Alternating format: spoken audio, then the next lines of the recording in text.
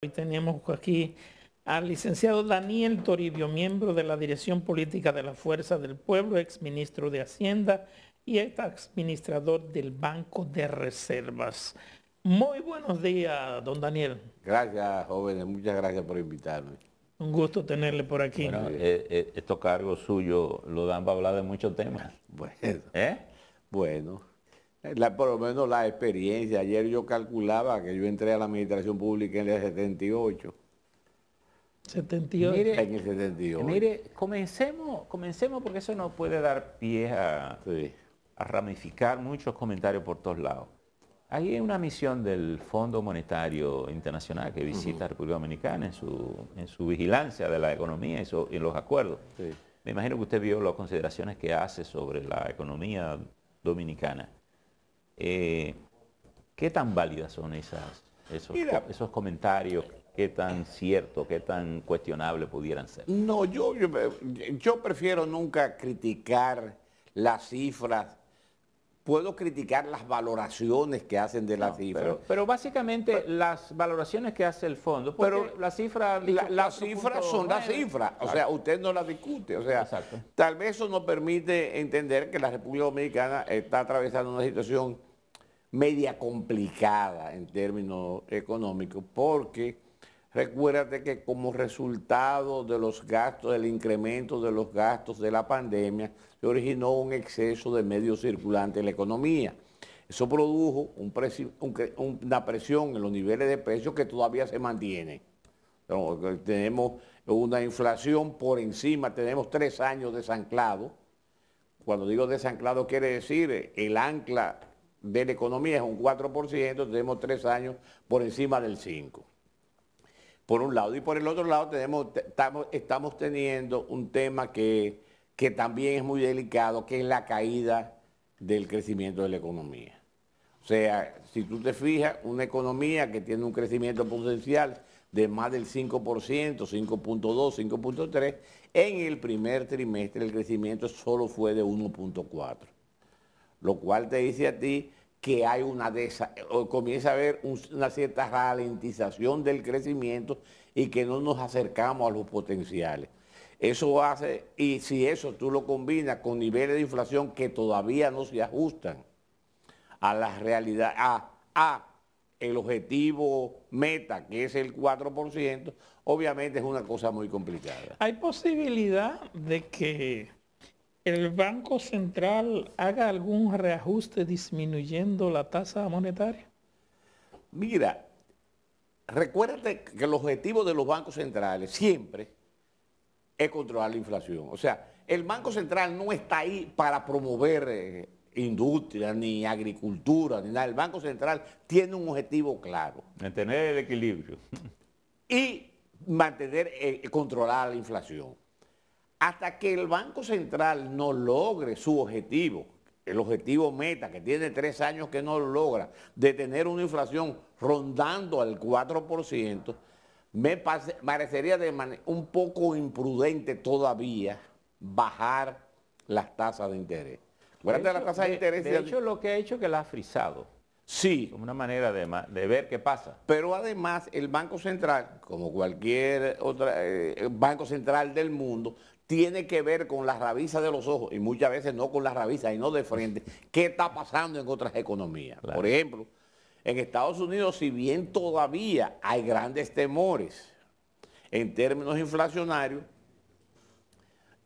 la, la, el- el- de- la Reserva Federal ha decidido subir punto 25 y estamos ya en 5.25. ¿Y por qué es importante darle seguimiento a lo que pasa en Estados Unidos? Por una cosa simple. Porque el dinero que tú puedes, los grandes depositantes pueden tener en República Dominicana y la tasa de interés de aquí no es suficientemente competitiva, ¿qué va a hacer con el dinero? Escapan. Se escapan. Y eso produce un... Bueno, hay tal vez un, un elemento transversal Sí. que es la economía norteamericana. De hecho, los bancos centrales de la región de alguna manera están replicando la política de, de mantener un control con la tasa. Pero mi pregunta original de la valoración del fondo sí. tiene otro propósito, que yo se lo voy a decir ahora.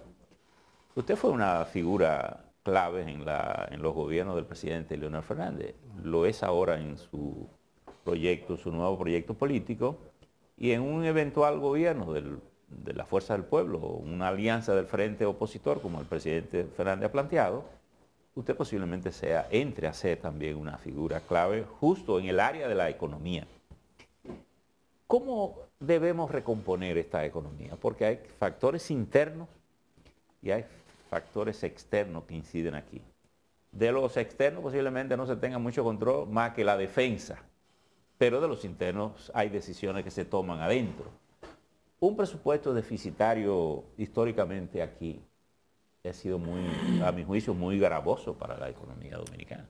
Mira, hay dos cosas que en el presupuesto tenemos que ver, ¿eh? los ingresos y los gastos. Por el lado de los ingresos, yo pienso que la economía dominicana requiere a mediano y largo plazo una reforma fiscal que permita que los ingresos del Estado suban. O sea, sin, sin mayores ingresos tú no puedes hacer mayores gastos. Ahora bien, también tú tienes que ser prudente en el gasto. Y cuando digo prudente con el gasto, más que en el gasto son en las ofertas. O sea, no ahora, pero ya, ya es un momento de, como de no aconsejar mucho, pero hace dos años y medio que nosotros venimos diciendo, están ofertando mucho. Y entonces estamos viviendo sobre la base. Están ofertando mucho desde el del gobierno. del área del gobierno. Están ofertando mucho. Están ofertando cosas que no la van a poder hacer. Tú coges, por ejemplo, y, ustedes me lo han oído decir, ustedes dicen, mira, y es como vivir de titulares.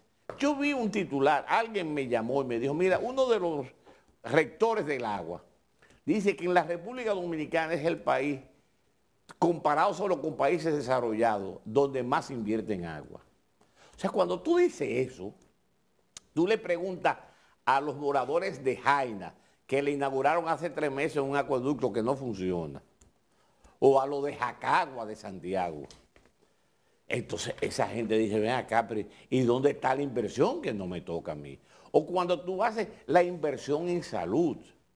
O lo que acaba de hacer, por ejemplo, el gobierno publicando una página en todos los periódicos diciendo que nosotros vivimos en...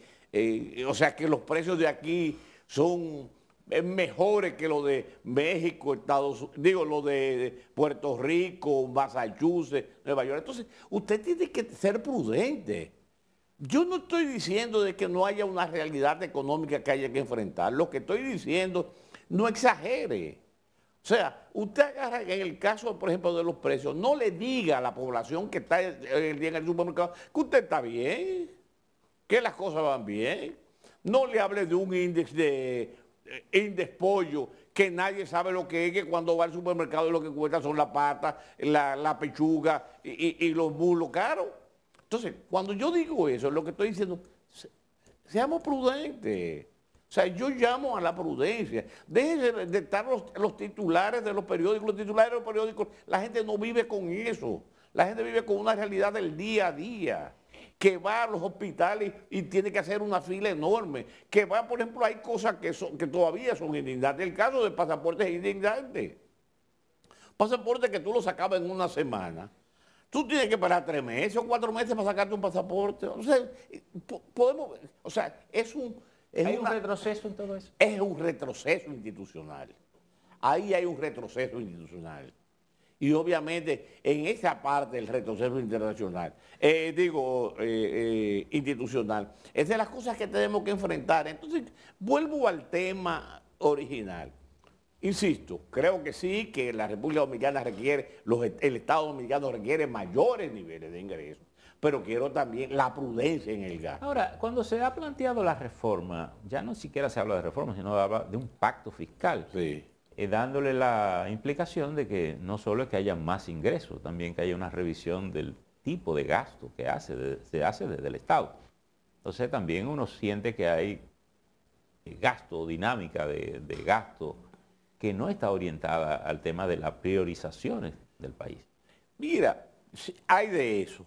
Eh, eh, hay considerar, por ejemplo, hay mucho de gasto de corriente, pero además, como resultado de los de, de la situación económica, el gobierno ha tenido un alto nivel de endeudamiento, lo que lo obliga a pagar una tasa de interés, eh, tasas de interés.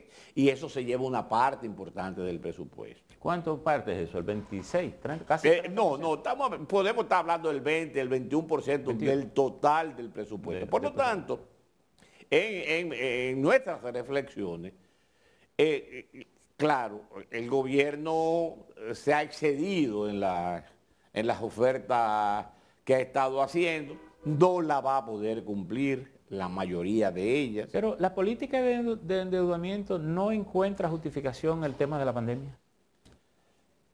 ¿O usted entiende que a pesar de las razones de la pandemia, el gobierno ha sido excesivo en el endeudamiento? mira, mi reflexión sobre los préstamos, yo no soy opuesto a los préstamos. Y el que me está viendo va a reflexionar en este tema. No es lo mismo que tú diga, voy a coger prestado para comprarme una casa. Y esa casa, es verdad que voy a estar apretado en, estos meses, pero cuando me suban el salario, cuando, cuando mi mujer trabaje, cuando mis hijos trabajen, yo voy a poder pagar la casa. Y si no la voy a poder pagar, la voy a poder vender y recuperar la parte que he invertido. Ahora, eso es cuando tú haces un gasto de capital. Pero cuando tú lo utilizas en gasto corriente, en, en, en plomanía, en materiales, en suministro, en ese tipo de cosas, se acaba ahí mismo. ¿Y qué pasa? Que las generaciones futuras, tus hijos, tus nietos, van a tener que pagar los gastos que no se comieron. Entonces yo sé de lo que creo que los préstamos, los, préstamos, tienen que ser cubiertos por diferentes eh, generaciones tú lo tomas prestado y los beneficios, por ejemplo, te pongo un caso, tú coges prestado para una presa, pero la presa te da 40 años. Entonces, obviamente, en 40 años de beneficio, el beneficio, la rentabilidad social o económica que te da la presa, te permite repagar el préstamo que tú hiciste. Pero si tú coges prestado para darle comida a la gente, cuando tú vas se acabó el préstamo y en 40 años esta generación y las nuevas generaciones van a seguir pagando una cosa que no se comieron. Señor Donerio, pero hay un... Con el asunto este de la tasa del Banco Central, hay un detalle que la mayoría de la gente no se percata. Por ejemplo, las, todos los bancos comerciales se han visto en la necesidad de subir enormemente la tasa de interés para préstamos especialmente para la construcción y para préstamos de consumo. Pero la gente no se percata de esa situación a pesar de lo que le está ocurriendo. Pero es una realidad que nosotros tenemos. O sea, como que eh, cuando, cuando a ti te sube, cuando, espérate, cuando a ti te sube, dice que no claro que me percato, o sea, cuando el banco te dice, por este medio su tasa de va a ser tanta, va a subir, tú dices, no, espérate, está gritando. No, la gente dice percata. Fíjate, se percata tanto que entonces la construcción comienza a disminuir. ¿Y por qué comienza a disminuir? Porque la gente dice, no, pero yo no me voy a involucrar en ese préstamo, o no tengo dinero, o lo que fuera. No, claro que sí. Pero déjame decirte lo siguiente. Ahora, hay Es intencional que el Banco Central lo hace. El que crea que es una cosa casuística, no. El Banco Central quiere que lo suba. Es más, el Banco Central se molesta si tú no subes la tasa de interés. Claro, porque, porque, el, porque el objetivo es disminuir la cantidad de dinero en circulación para evitar las presiones inflacionarias, porque recuerda que el objetivo del Banco Central es controlar la inflación. Ahora, hay un dicho popular que siempre la gente dice, no hay dinero en la calle.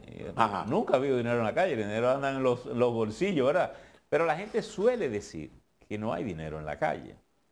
En, este caso es, y es, parte de la consecuencia de esa política. Claro, en este caso es totalmente cierto, porque es una política dirigida del Banco Central de controlar el circulante. Pero es una explosión. No hay dinero en la calle y precios altos. Y los precios altos. Bueno, y además, porque eso es una de las cosas, inclusive eh, fuera del aire, y en algún momento le pregunté a Geraldino, una cosa que a mí me impresiona mucho, porque uno, uno ve las cosas macro pero los detalles, el día a día, el comportamiento. Y yo le pregunté, ¿qué está pasando en el sector agropecuario?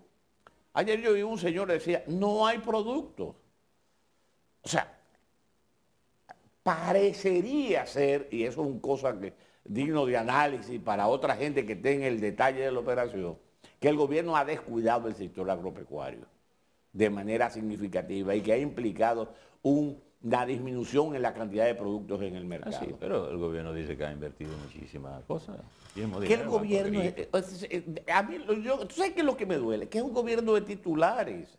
Que rueda de prensa. Sí, de rueda de prensa de titular y todos los días. No, óyeme, de titular, de, un palazo, de contar si yo le Pero la mayoría de los 67 productos que le pusieron tasa cero se producían aquí en República Dominicana. Claro que sí. Pero decidieron dárselo a los importadores. Claro que sí. O sea, es, dando golpe a tientes a lo que anoche me llamó un amigo y me dijo, pero es la ley, ¿cómo se llama? La ley de Morphy. Es la ley de Morphy, que se ha hablado siempre de la ley de Morphy. Cuando las cosas van a... Que, eh, eh, cuando las cosas, una, cuando hay una posibilidad de que una cosa salga mal, sale mal. O sea, al gobierno las cosas no le están saliendo bien. Daniel, si, yo, eso. si yo le preguntara,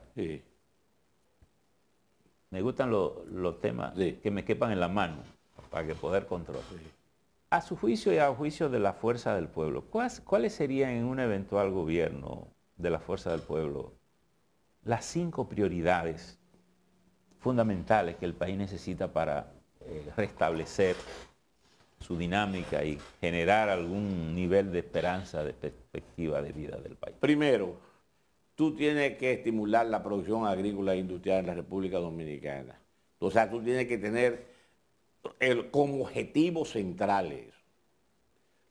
Yo añadiría un segundo.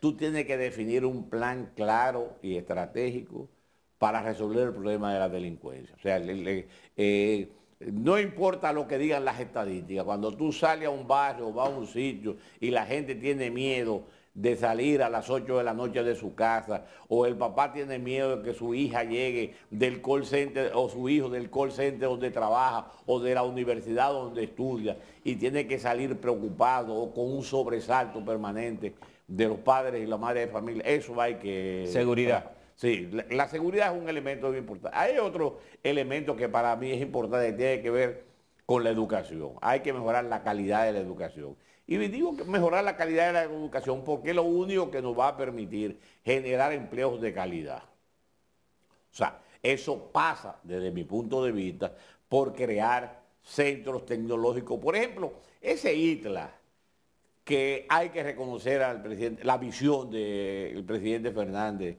del ITLA. O sea, el ITLA. Hay que hacer mucho ITECO. Yo, ITECO se llama, bueno, el, el Community College de San Luis. Hay que hacerlo en muchos sitios. O sea, hay que desarrollar a gente que tenga capacidad. Técnicos eh, vocacionales. Y calificados. O sea, con alto nivel de calificación. Nosotros tenemos que tener una, una cuarta agenda, la, la, agenda de la modernidad. Ya hoy en día, óyeme, el mundo hace dos, años, dos meses cambió. Dos o tres meses cambió. El mundo es distinto. Hoy en día ya, mucha gente que me está viendo no tiene idea de lo que significa, está significando la inteligencia artificial para mucha que después de la pandemia no hay que esperar 100 años para pasar de un siglo a otro. No, pero eh, voy, a hablar de la pandemia. O sea, en el caso, por ejemplo, de lo que ha pasado en los últimos tres meses con la inteligencia, o sea, la, irrupción de la inteligencia artificial en casi toda la actividad. Mira, hay un programa que se llama Don't Pay. Ese programa es un programa que te permite ser abogado sin ser abogado. Que tú lo utilizas y te da todas las cosas que tú tienes que hacer para defenderte en una causa. Eso es un caso. Pero si tú casos, por ejemplo, programas como Tomé, como Canva, para no hablar del chat GPT 3.5 y 4, para no hablar, por ejemplo, ahora BIM te permite interactuar y responder, o uno que se llama Plexit. O sea, son la cantidad de inteligencia artificial que te permite hacer cosas. ¿Cuál sería, ¿cuál sería su quinto tema? Eh, bueno, ahí es que voy. O sea, hay un, tema que para mí también es importante, que hay que volver de nuevo, volver de nuevo a hacer grandes inversiones en infraestructura en la República Dominicana. Hay que mejorar los niveles de infraestructura en la República Dominicana. Hay que recuperar. Y no, insisto, yo no, no lo critico y no hago. que den resultados. O sea, yo pienso, por ejemplo, ¿Hacia dónde dirigiría usted esa inversión en infraestructura? por ejemplo, yo creo que la República Dominicana ya necesita un tren, un, un mecanismo de locomoción rápida que vaya de aquí a Santiago, por ejemplo, que, y después que siga hasta Puerto Plata. Un tranvía. ¿Eh? Sí, yo creo eso. Creo igual que fue una intención del gobierno, pero de este gobierno, pero se quedó en intención, que se hace necesario hacer un mecanismo que permita, por ejemplo, fluir de aquí al aeropuerto y hasta Boca Chica Bueno, eh, rápidamente. Ese, ese proyecto del aeropuerto está diseñado, incluso de hecho se ha dicho que el gobierno lo va a seguir y ha seguido de lo va a seguir, no, no lo ha comenzado. O sea, Bueno, pero Daniel, nos acaba el acuérdense tiempo. que ellos, ellos están calculando que pueden seguir. bueno, pero no, la- eh, eh, eh, no, eso no Y, sé. y lo, y lo están extendiendo hacia los alcarrizos, que originalmente ese era el propósito del cuando se Ya estaba el metro. comenzado. No, Sí. cuando, no, cuando se transó el metro, Se estaba no, se- estructurada la línea. sí, pero, pero se dejó hasta el 9 como se dejó hasta... Sí, de todas formas, hay, hay muchas obras infraestructurales que hay que terminar en la República hacia la mejoría. Por ejemplo, para mí es importante y nodal, creo yo, desde mi punto de vista, desarrollar un mecanismo de rápido de llegar a, a Pedernales. O sea, con esa carretera no hay desarrollo de Pedernales. ¿eh? ¿Le gustaría un tranvía o le gustaría vuelos aéreos? El, el tema es... el- Habría que considerarlo. El- eh, no, pero tú necesitas una carretera de cuatro carriles que vaya desde Barahona a Pedernales, porque, óyeme, cuando tú tienes que coger la ochenta y pico, creo que son ochenta y pico, de curvas que hay entre Barahona y Pedernales, ese viaje, no hay viaje más largo que un viaje de Barahona a Pedernales. Sí, Muchísimas gracias. Gracias a ustedes. Daniel, muy Gracias. amable. Gracias a ustedes. Señoras y señores, a ustedes también, muchísimas gracias. Continúen con la programación. Nos vemos mañana. Sí.